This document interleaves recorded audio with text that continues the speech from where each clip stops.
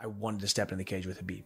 Then my next thought was how let down I was that Habib was retiring because I started to realize he was about to make a retirement speech. And then my next thought was somewhat admiration and admiration for him and his body of work, and also empathy for him and his scenario because you saw him roll off of just a lifeless Justin Gaethje, go straight to the center of the octagon, start sobbing, diaphragmatic sobbing uncontrollably because the loss of his father. He didn't just lose his father, he lost his best friend, his coach, his mentor, his hero. He lost everything when his dad died.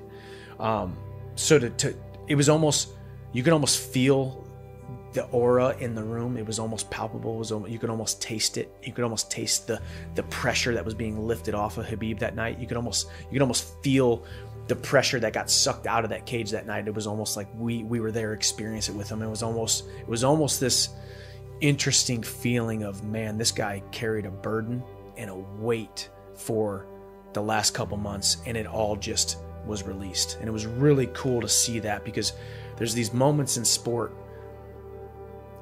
that transcend just the X's and the O's and the wins and the losses and the competitors. It, it, it reminds you that we're all human beings in this microcosm of of competition, whether whether it's God or for him it's Allah or whether it's the universe that that we are put on this earth to do something great.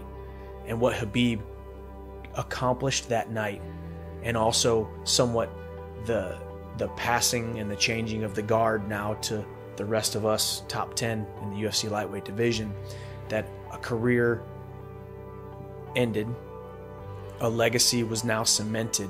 He is absolutely the greatest lightweight of all time for what he has accomplished the the manner in which he accomplished it barely ever looking as if he was beatable barely ever looking as if there was a man alive that that could knock him out submit him catch him, stop his takedown, stop his grappling. He he was just about he looked just about as unstoppable and unbeatable as, as a man possibly could inside the UFC octagon.